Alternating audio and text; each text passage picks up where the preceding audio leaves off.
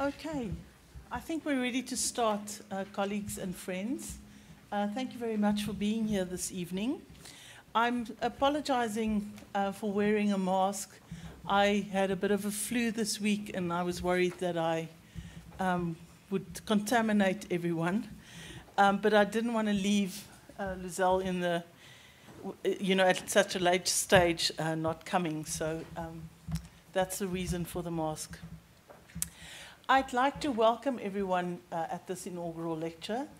Uh, we've done quite a few this year, but it remains a highlight. Uh, every talk has been interesting, informative, um, and I'm sure that we'll have the same talk this evening uh, in terms of interest and, and relevance. Um, it is really the highlight of a professor's or an academic's career to uh, stand in front of an audience and deliver an inaugural lecture. Uh, it, is a, it is a great honor, um, and I ask that we all celebrate this uh, with Luzelle. As Stephen, I see that you're here. Uh, Stephen did this a few weeks ago, um, so he knows exactly what it's all about. And it is quite an honor, Stephen, am I right? Yeah, it's great. So thank you everyone for being here and sharing this special moment with Luzelle. I'd like to welcome the Vice Rector, Institutional Change, Strategic Partnerships and Societal Impact, Dr. Molapo Qhobela. Uh, I saw him outside. Is he here? There he is. Molapo, welcome to you. Then I'd like to welcome the Dean of the Faculty of the Humanities, Professor Heidi Hudson, who's joined me in, the, in the front of the stage uh, this, this evening. I'd also like to welcome the Vice Dean of the Humanities, Professor Chitja Twala, um, and I also saw him earlier. He's sitting there at the back. Uh, Chitja hasn't learned to sit in front of the class, uh, so still at the back, Chitja. Then I'd like to welcome the head of department, Dr. Edwin du Plessis. Um, Edwin, this is also your second time in, in quite a short period, um, and I'm really proud that the department is making such progress with so many inaugural lectures. I think that says something about the department, um, and congratulations to you as head of the department. Uh, then I'd like to welcome, of course, the, the lady of the day, the lady of the evening, Professor Luzelle Naudé. Uh, Luzelle, I'm looking forward to your talk. Um, Luzelle started out, you know, when we were still fighting for her for a rating. So I've walked quite a, quite a way with her um, in her academic career. Um, and it really feels like my own inaugural lecture this evening. So, Luzelle, congratulations, and it's been fun taking this journey with you. Then I'd like to welcome um, Johan Kulain, who is Professor Naudé's partner. Uh, Johan, where are you? There's Johan. Johan, nice to meet you. Welcome. Uh, welcome to the university, and I hope that you'll enjoy the talk.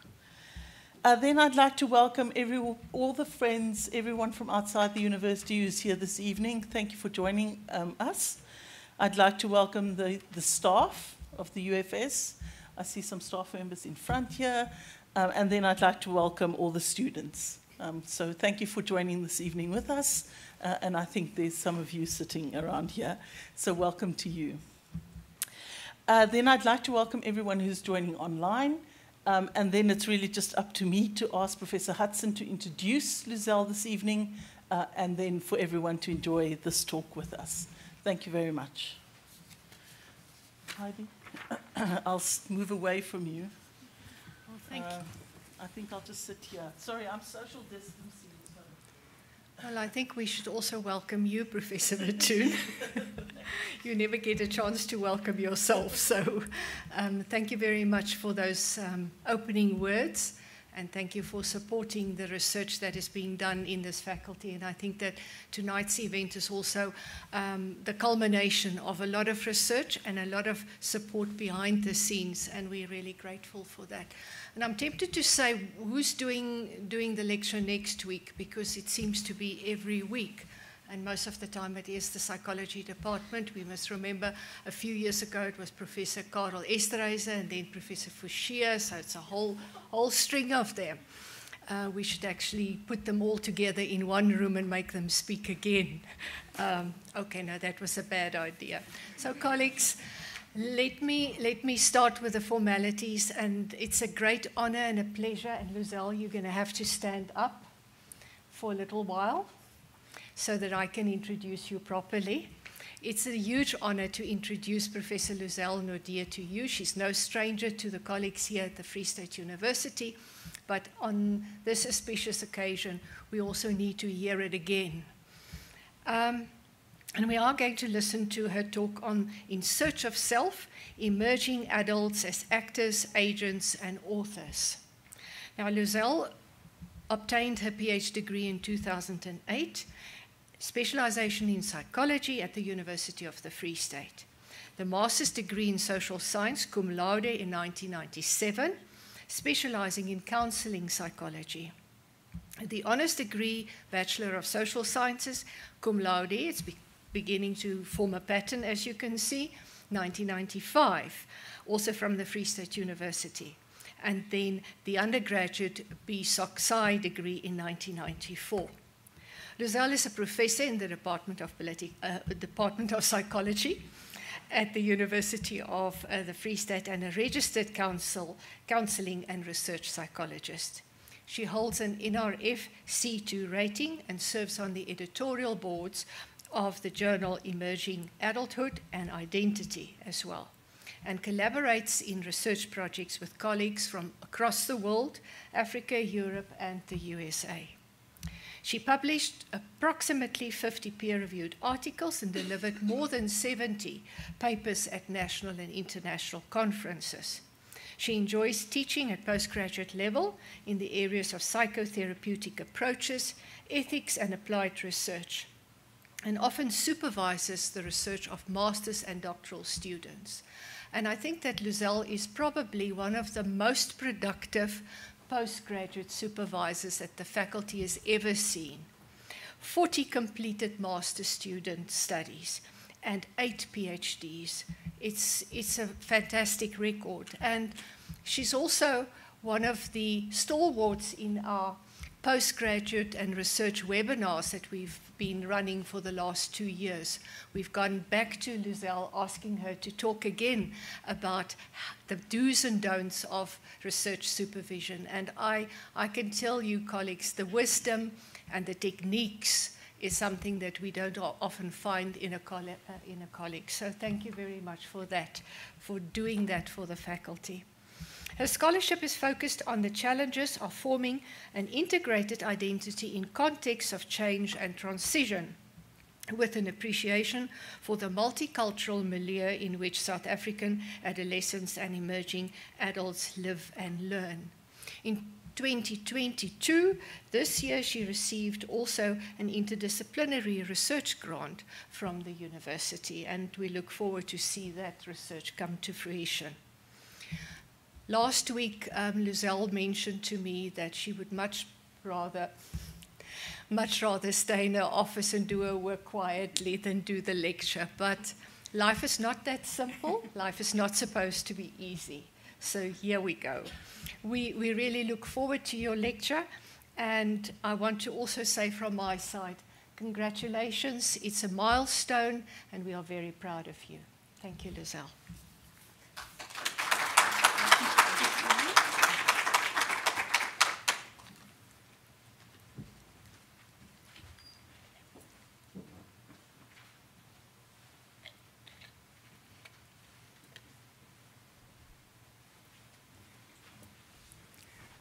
Thank you very much, Professor Hudson, and good evening to everybody. I would like to start tonight with a few acknowledgements. Firstly, I would like to acknowledge the University of the Free State as an institution that has been my academic home, first as an undergraduate student, later as a postgraduate student, and for the last nearly two decades also as an academic. As I stand here tonight, I know that my academic identity is intricately related to this institution. I would also like to thank tonight the members of the Rectorate and the Deanery that is here, Dr. Qhobela, Professor Witthuhn, Professor Hudson, Professor Twala, and also the head of the psychology department, Dr. du Plessis. I want to acknowledge the academic community, my colleagues, students, and research assistants that has always supported me in my research endeavors, and also my family and friends, and Johan, who is here tonight, my partner, who is always on my side, who always makes space for my laptop and who's willing to have endless conversations with me about correlation and causality and reality and meaning making in a post truth society.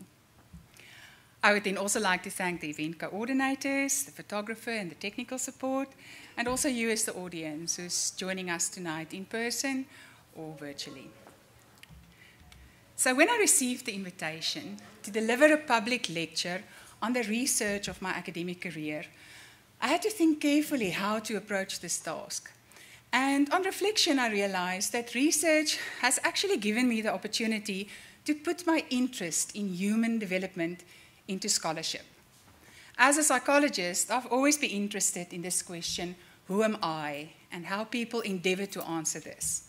And in my research, I've also focused on the challenges of forming an integrated identity, especially the transformational journeys of the youth, and how they balance learning in and beyond the classroom with living. So, in my lecture tonight, I would like to talk to you about my research journey, what informed and shaped my research.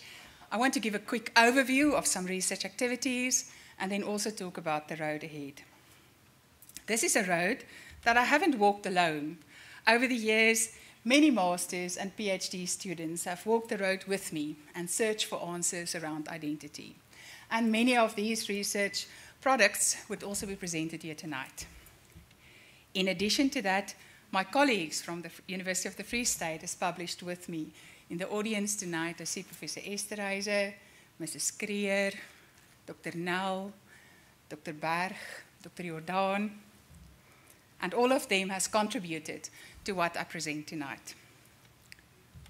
So in the field of identity research, there's this technique which is called the 20 statement test. And it asks of participants to complete the I am statement as many times as possible in a limited amount of time. And although this sounds easy, it is quite intriguing to think what signifiers will I use to describe myself to the world? Here is an example uh, from research participants in one of my studies with a word cloud of the words that they've used to describe themselves. And we can he- see here the diversity of decisions we make when we want to present ourselves to the world. So, to put all of this into context, identity scholars have focused on research around the identity domains or dimensions. And this boils down to placing ourselves on that continuum between sameness and difference. Where do we find association and belonging? And with which groups do we find solidarity, on the one hand, versus how do we claim our uniqueness and our difference, on the other hand? So, Erikson I've included him especially for the master students in the audience. He introduced this field of research by talking about ideological and interpersonal dimensions of identity. And through the re years, researchers have focused on aspects of social identity, such as our gender or our racial identity, also how we internalize roles, like our academic roles or our family roles, into our identity, as well as some idiosyncratic features. So, from a new Eriksonian perspective, identity can be defined as a relatively stable sense of self with multiple intersecting domains that are fluid across time and context. From an African perspective, this relates to the ontological notion of personhood, which is a function of both the physical and the spiritual, the internal and the external, tradition and modernity, while positioning the self within the collective. Another strand of research is about identity development and the processes uh, through which we move in life. And this time it's about placing ourselves, on the one hand, into a space of constancy, what makes us the same, how we stay the same over life spans, and on the other hand, how we change, how we grow, and how we develop over time. Marcia introduced this uh, piece of research by talking about how we explore various identity dimensions and alternatives, and how we then later commit to what we find most valuable. And in contemporary process oriented models, today we would regard identity development as that complex unfolding of reciprocally moving between exploring and committing, sometimes in depth, sometimes in breadth, sometimes reconsidering until we identify with final commitments. From an African perspective, this relates to the normative aspects of personhood, the means of achieving personhood, how we become a person beyond just a human being. One of the more recent fields in identity study is a narrative identity framework. That's also the framework I'm going to use tonight. And here it is emphasized that identity is a person's internalized and evolving life story. This life story has a temporal dimension to it. We integrate our past, our present, and our future. It also has a contextual dimension to it, as context kind of acts as a co creator of our stories. It sets the agenda for the type of story we can tell. And then it also has an agentic dimension. We create ourselves through our stories. And we choose to tell and retell our stories in order to find unity and purpose in life. So every story has a setting, it has some characters, it has a plot with a beginning, a middle, and an end, and it has some events, some high and some low points. The setting for my research story, the theoretical context, is at the intersection between two disciplinary fields that I've always found interesting. On the one hand, there's developmental psychology, how we change over time, a lifespan perspective from conception or even before until death or even after that. Secondly, there's also cultural or social psychology, which emphasizes our ecocultural embeddedness and how we are nested in various contexts. The characters of my story, the research participants, are the young people of South Africa. Former President Nelson Mandela said, This generation of youth stands at the borderline between a past of oppression and a future of prosperity. And it is in this present in South Africa of dramatic social change that young people are trying to tell their stories and to forge a sense of self. The plot of my research unfolds through mixed methods approaches. I've always preferred a both and rather than an either op- uh, or option, and because of that, I always try to combine or balance both quantitative and qualitative procedures in order to find some breadth and some depth in understanding identity. The events of my research story will be unpacked tonight in seven chapters. And although I'm presenting them in quite a linear fashion, as if they are moving from past to present to future, they are a bit more cyclical or recursive in nature, and I'm, I've spiraled forward and backward between the chapters.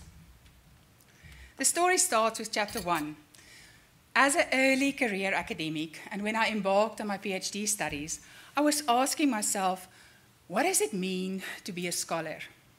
I was thinking about Shakespeare, who talked about the world is but a stage.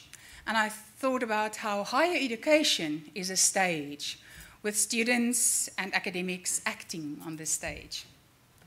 My research at that stage was done in a higher education context where there was many discourses about the need for transformation in higher education. And there was also much talk about the changing architecture of education, how we can learn without walls in community settings and in online environments. At that stage of my career, I was inspired by the seminal work of Boyer, who spoke about the scholarship of engagement, of Dewey, who explained how we learn in the process of living, and Freire with his Pedagogy of the Oppressed. And for my research, I asked, how does higher education prepare students for life? I was interested in the promise of community engaged service learning. How learning experiences in real world settings where students participate in activities in a community can help them to make the link between the discipline and societal dynamics and hopefully also achieve personal growth. So, for my PhD, I embarked on a quantitative investigation, and I wanted to determine the effect of guided reflection activities on the development of service learning students. I conducted an experiment where I randomly assigned students to three different groups and exposed them to different forms of reflection. And I then conducted pre and post test surveys to determine the development that happened over time. And what I found with regard to the role of service learning is that over and above the academic gains, students also showed significantly higher levels of psychosocial competence towards the end of a learning experience, which means they grew with regard to self esteem, feelings of competence, and the universal orientation. More importantly, however, is the role of reflection and how that facilitates this learning. And I found that by reflecting in groups is of significantly more value than reflecting alone or not at all. So these findings then culminated into my PhD, which was uh, later on reconfigured into publications with the HEQC and the CHE. We also published on intergroup psychology and the importance of cultural sensitivity. And we followed the research up with projects on student reflection and the power of engagement when we make use of online service learning. And through all of this research, I became convinced of the value of learning beyond the classroom. This helps us to teach in a responsive way, to develop graduate attributes, and to also increase our critical awareness of the world in order to participate responsibly, in the lives of others. I was also reminded of the fact that le- learning is about being and relating and acting, and that we are most effective in our learning endeavors if we are active and interactive and reflective. This aligns with the tenets of experiential learning philosophies, social constructivist approaches, and connected knowing epistemologies. With this knowledge, I move on to chapter two, where I ask myself how these principles can be applied in the teaching of future psychologists. So this time around, I embarked on a qualitative exploration. And rather than just determining change at the beginning and the end of a module, I was interested in the learning experiences during a, um, a psychology module. I um, made use of five cohort groups of psychology students over a time span of five years, and I analyzed their reflection reports, triangulated with focus groups and summative portfolios in order to map the learning experience. And this is what I found. If we are confronted with new situations and new information, we often start at a place of dissonance, a kind of forked road situation, where we become aware of complexity, but we still show a resistance to take the first step. In time, because we want to regain balance and equanimity in our lives, we move beyond this dissonance. In Piagetian terms, we assimilate new information to our existing schemas, but we also accommodate by replacing existing schemas with more relevant schemas. This then sets the way for active adapting. This can happen on communicative level through understanding and meaning making, on instrumental level through practical learning, and on transformational level, which is about perspective change. This sets the way for forming new connections with knowledge systems and also with others. And this makes it possible to make commitments for the future, to have the courage and make the mindful choice to act. So, in summary, this transformative learning process is like a spiral staircase where we move through certain intellectual shifts, questioning our knowledge, emotional shifts with deepened emotional realizations, into action with the commitment to participate in society. We continued the exploration into psychology students' uh, uh, attitudes, firstly, we also looked at the multicultural competence development. We integrated aspects about self regulation abilities. And we also investigated how students changed if they are tasked to parent a virtual child in a developmental psychology class. And from all of this, we learned about the importance of meaning making in the psychology profession. Psychologists and psychology students are often confronted with complex challenges, with moral questions, and with um, ambiguous ethical situations. They also need to navigate diverse worldviews. And to do this, they need to find their own value system and a strong, spirit, strong spiritual identity. The development of this worldview or identity will happen on an epistemological level, where students ask, How do I know? But also on an intrapersonal level, the who am I question, and an interpersonal question how do I relate with others and with my clients? In order to do this, students have to move through a journey of self authorship, where they start off at a position of external meaning making, where they still trust external authorities to have the answer, but soon move to a crossroads situation where they question authorities and find tension with, with um, recognized knowledge. This then sets the stage for an internal meaning making process where students find their own voices and make internal commitments. With this knowledge, I moved on to chapter three and asked myself how successful are we in higher education in facilitating this journey for students towards self authorship? The research in chapter three was thus about access with success. And this research came at a time where there was exponential growth in student numbers and also the realization of the epistemological gap between secondary and higher education. Both students and lecturers often feel underprepared for the challenges they face. At that stage, the response of the Faculty of the Humanities and the Center of Teaching and Learning was the development of bridging programs, extended programs, and also the academic facilitator sessions. And the aim of these sessions was to find a way to integrate life skills or developmental competencies on the one hand with disciplinary academic outcomes. So, with this, we embarked on a mixed methods action research project of five year cycles. And we tried to determine the experiences of students and staff members in an academic program, the various predictors of success, and to find out whether students indeed succeed in integrating competence and content towards an academic identity.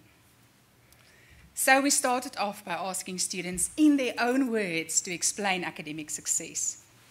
We also considered the vectors of their academic identity development we looked at their interdependence and their relationships, how they used challenges at, as a motivation for growth, and we also considered the experiences of both flourishing and languishing, and how they move on this continuum between teaching and learning in communities of practice.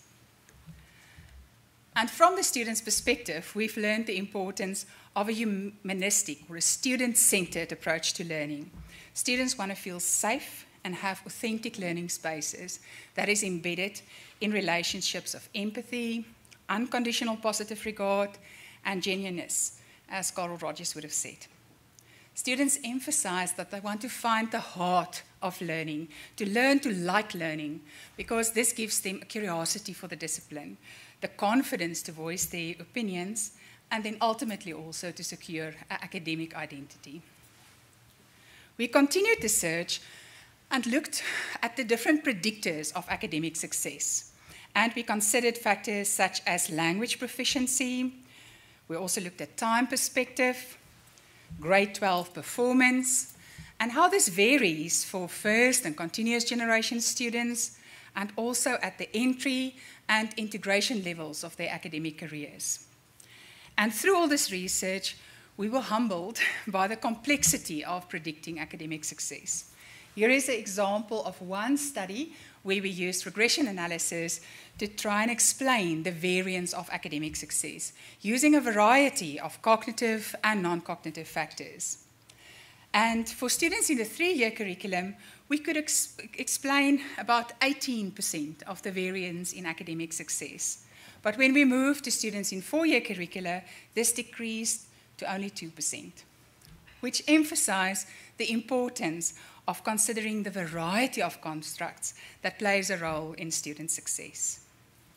So this took me to chapter four, when I decided to take one step back to the previous decade of life, the second decade of life, to understand adolescence. The developmental psychologist in me was interested in this so called identity crisis and how students explore different possible selves and then commit to our understanding of who they are, in addition to the different domains that is salient in their lives. So we set off by exploring aspects such as their risk taking behavior, future time perspective. We also considered cognitive styles and self esteem. And we looked at important domains such as spiritual identity and ethnic identity. And through all of this, what stood out for me was the stories of agency.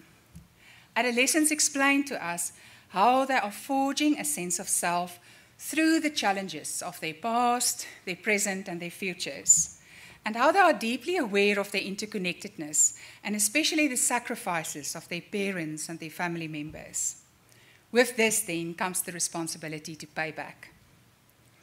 What was interesting is that they defined their re- uh, resilience through primarily two aspects. Firstly, the need for having role models adolescents emphasized how they really need to look up to grown ups, to find giants whose shoulders they can stand on.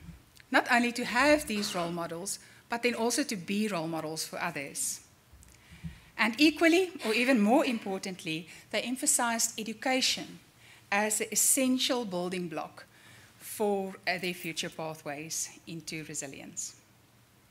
This reminded me of what McAdams talked about as redemptive stories. It is these stories that start from negative beginnings and move to positive endings. And in our research, we also found that stories of generativity, of upward mobility, and of liberation. Next, the cultural psychologist in me was interested in adolescence in context. So I was wondering about the contextual factors and the challenges that inform identity development during adolescence. So in, we investigated this interplay between content and context, and how context is a co creator of our stories.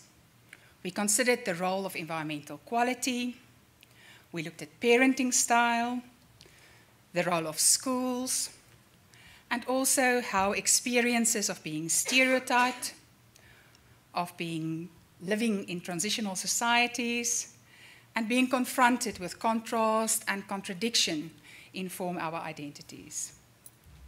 And what I've learned from that is how adolescents are really challenged to stay true to themselves while they are balancing different worlds.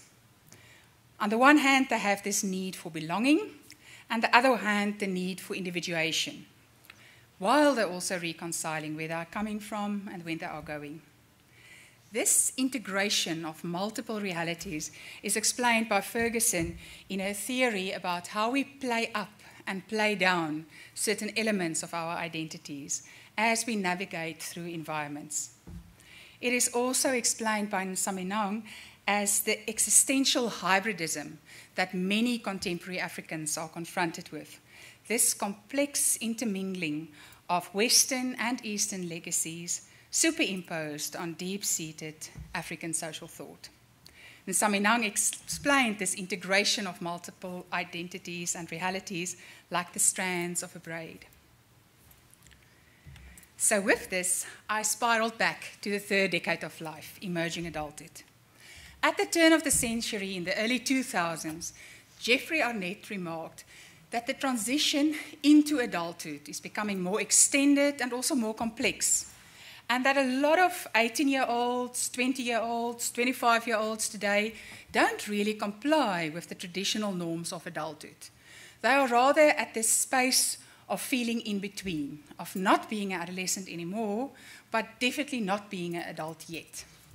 And this started an interesting scholarly debate on whether emerging adulthood is indeed a new developmental stage or if it is something that is applicable only to a minority of Western, affluent university students. This debate has developed to a place where we realize today that there are many emerging adulthoods, many pathways into adulthood, which has a lot of developmental similarities, but that also differs with regard to culture and social class. So, this was the cue for a mixed methods project on South African emerging adults. For the quantitative component, we conducted two large scale studies with a focus on investigating the extent to which South Africans endorse the dimensions of emerging adulthood. And from a qualitative point of view, we conducted multiple case studies to explore perceptions and experiences of living in South Africa today. We considered aspects such as personality and well being, the experiences of being an emerging adult parent, and also in group and out group orientations. And what we found is a strong endorsement for emerging adulthood. Aligned with trends across the world, South African emerging adults strongly identify with these dimensions. What we have seen, however, is interesting nuances with regard to gender, ethnocultural grouping, and generational status, which points to the unique nuances that we find in South Africa and in our context. This can be unpacked through the five pillars of emerging adulthood. In theory, the developmental stage is built on five pillars. And in South Africa today, these pillars are mirrored or reflected in the sense that we are living in a democratic society that is, that is in its third decade of life. It is an emerging adult in, in, in nature. So, if we, for instance, look at the first pillar that are feeling in between, we know that young people have that sense of I'm on the way there, but I'm not there yet. And also in South Africa, in a country that is in transition, people often feel in between, considering changing intergroup relationships and also the increasing generational gap between previous generations and young people. The second pillar of emerging adulthood is that of possibility. Young people are optimistic and excited about the future. They usually have high hopes and big dreams. And in South Africa, with the democratic transition, there was also talk of a born free generation and the African Renaissance with the promise of a better life for all. However, the third pillar of emerging adulthood is that of instability. Young people also experience a lot of stress and a lot of uncertainty, and they constantly feel in a state of flux because of changing directions in living arrangements and relationships and careers. And in South Africa, large scale social change and political transition, which is too fast for some and too slow for others, also cause this sense of uncertainty. The fourth pillar of emerging adulthood is an interesting one, and that is the fact that young people are relatively free from demands, from work demands and family obligations. And while some emerging adult scholars, which will call this a healthy self focus, others are wondering if this means a selfishness or an entitlement. And in our research in South Africa, we've seen a definite balance between a self focus and other focus, in our participants emphasizing their ties with family roles and responsibilities, and also interconnectedness and spirituality. The last pillar that of exploring our identities and our roles and our worldviews is mirrored in South Africa in a country that is searching for a post apartheid identity. And the young people in South Africa thus have to discover themselves by considering notions of diversity and inequality on the one hand, versus the need to find some common ground on the other. So, this interplay, this mirroring between human development and societal change, brings me to my current chapter, where I'm interested um, in the narratives at this intersection between self and society. We've seen in the pre presentation up to now how the self unfolds through different layers. In theory, they talk about the actor, the agent, and the author. And South African emerging adults are doing just that. They are acting in a social world filled with complexity and transition, but also act as agents as they advance through low points, turning points, and high points to tell redemptive stories of purpose and meaning. Thirdly, they are also authors, reconstructing their present, their uh, past, and their future into a coherent life story and a narrative identity. In contemporary society, this often, often happens on social media, which has become like a super peer for socialization. Social media is a space where we can have this conversation between personal narratives and master narratives, societal narratives. And as social media users, emerging adults do this. They act in a social world that is blurred between the digital and the physical. They author real and ideal and sometimes false aspects of themselves to diverse audiences. And through all of this, they show agency. They actively and intentionally choose their social media engagements in a way to protect their positivity in a world filled with uncertainty. In an interesting turn in my research, we've also looked at tattoos and how tattoos can be a way in which people express their narrative identities as a way to ink their pasts, but also to do personal branding and as a way to journal the stories of their lives. My last chapter is the way forward. Through all the research I've done, I've become convinced about South Africa and the global South's um, ability to contribute to global knowledge production. And I'm looking forward to add a South African voice to many multicultural, multinational projects that we are currently embarking on. We are focusing with various other countries on aspects around positive youth development, social inequality, the minority majority juxtaposition, and also the intricacies of finding quality in life. In moving forward, it is important to move from a received Euro Western discourse to a more authentic and situated discourse in Africa. Majority world contexts, such as Africa, and African centered worldviews have a lot of richness to offer and can provide novel insights to help us to understand the unfolding complexity of the world. We've recently on, embarked on a study with colleagues from Switzerland, which is called the African Long Life Study. And this study is situated in Africa, currently in South Africa, Namibia, and Kenya, and next year also hopefully in Ghana and Nigeria. And we are following the lives of a thousand young adults in each country, trying to understand their lived experiences and their psychological development from an African centered critical psychology point of view. I've also realized the need to move beyond academically defined disciplinary paradigms. If we really want to appreciate the complexity of the human experience and of an interrelated world, we need interdisciplinary research. So, with the support of a grant from the Vice Rector's Office, we've recently embarked on a project at the University of the Free State called Selves Within Selves, where we're exploring the intersectionality of student identity in a transitional society.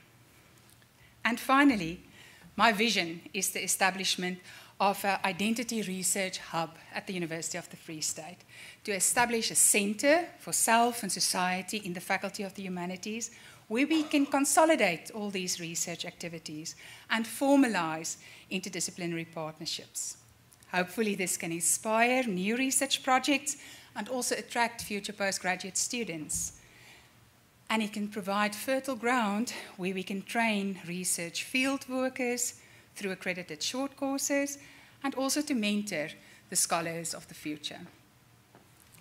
I conclude with a quote that inspires me to continue the research journey, and that is that in times of change, the learners will inherit the world, while the learned will find themselves beautifully equipped to understand a world that no longer exists. I thank you.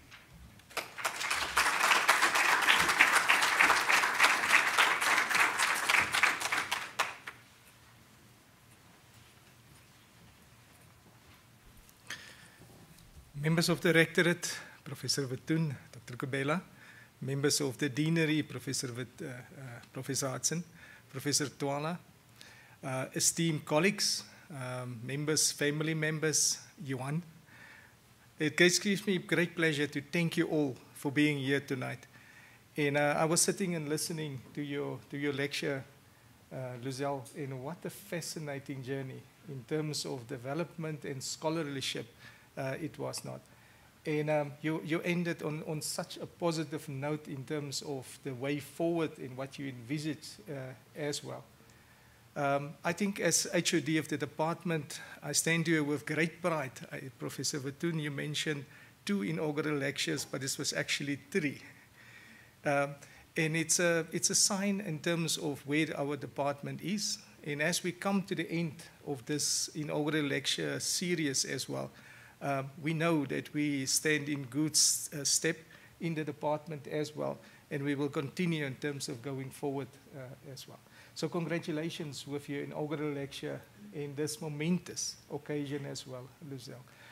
Um, members of, of the audience, uh, as the, the, department, and also on behalf of uh, Professor Naudé, uh, we would like to invite you for some refreshments that will be served within the foyer. We will just ask you to just remain seated for a, for a moment or two, just to give uh, uh, Professor Naudé, and Johan just an opportunity to take their, their places there in, uh, at the door uh, for us just to congratulate them. Uh, thank you very much for your attendance here tonight.